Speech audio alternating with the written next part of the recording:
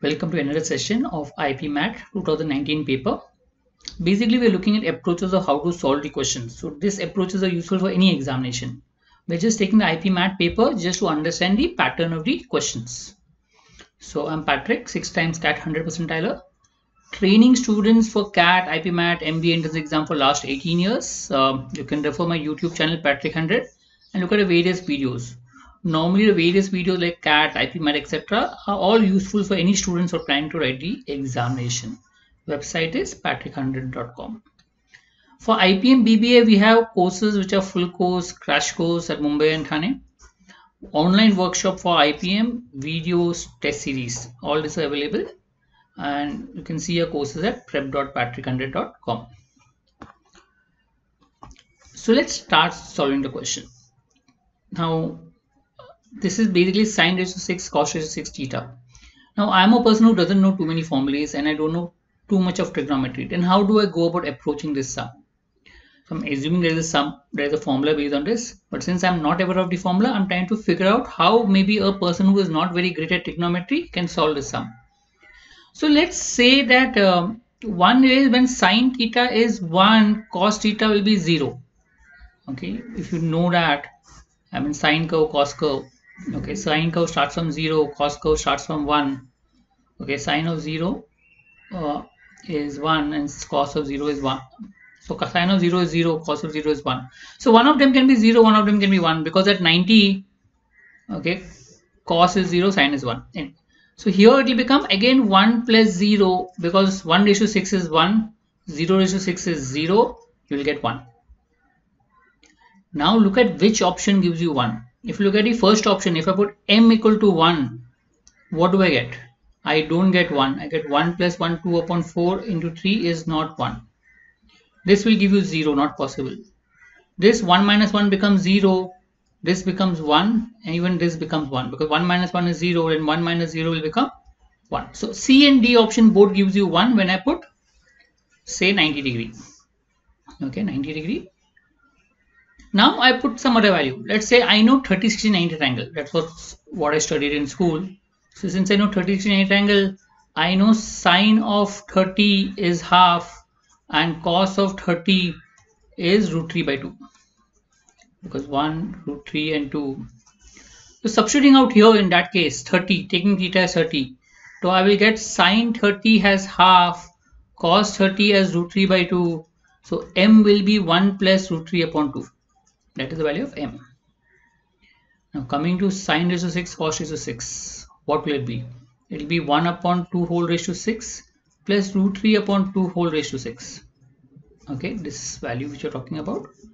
This will be 1 upon 2 raised to 6 plus 27 upon 2 raised to 6 28 upon 2 raised to 6 which if you look at will be 7 upon 16 right so I get this value is 7 upon 16 now I have to see which option gives me 7 upon 16 by putting the value of m. So in both the cases you have m square minus 1. So let's start with solving m square minus 1. So what is m square minus 1? 1 plus root 3 upon 2 the whole square minus 1. This if you calculate becomes 4 plus 2 root 3 upon 4 minus 1 which becomes 2 root 3 upon 4. But if you look at my answer doesn't have a root 3 so I should remove this root 3 which means I'll substitute a fourth option, D option square. C option will not give the answer because there is a root 3 which comes. But I don't want a root 3 in the answer.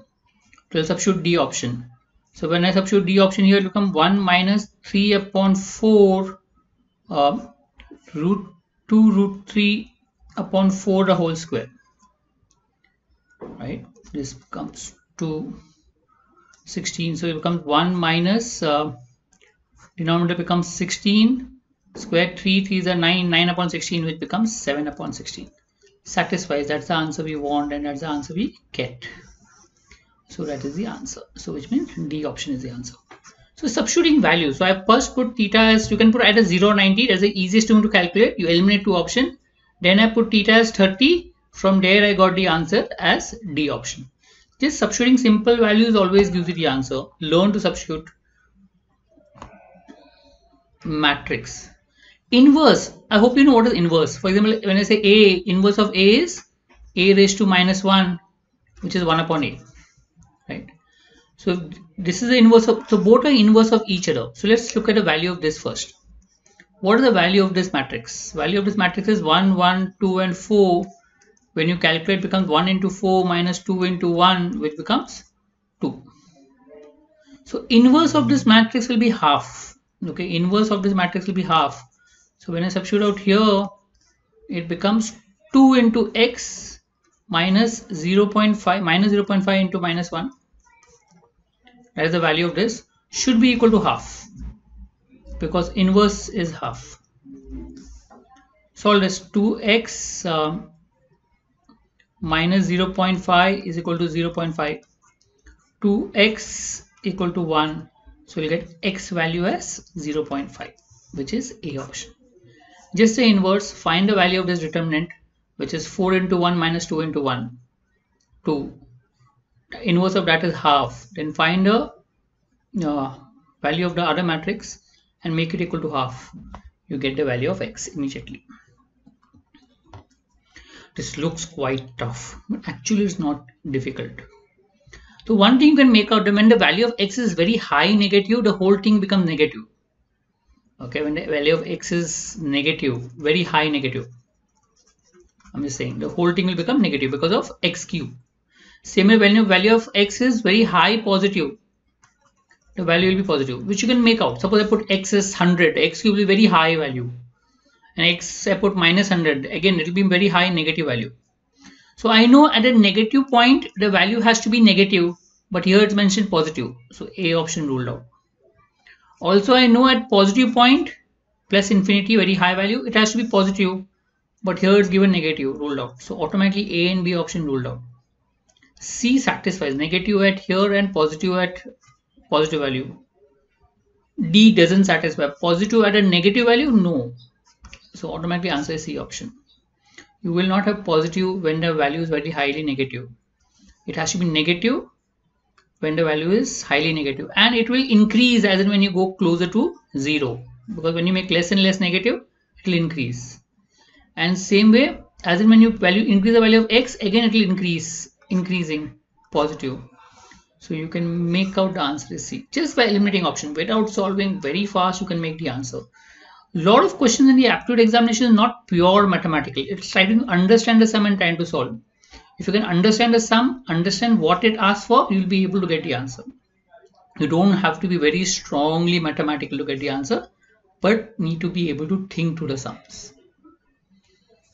Minimum value. So again, since they are variables, let me put some values and check out. Let's say I take 8, 7 and 6 as A, B and C.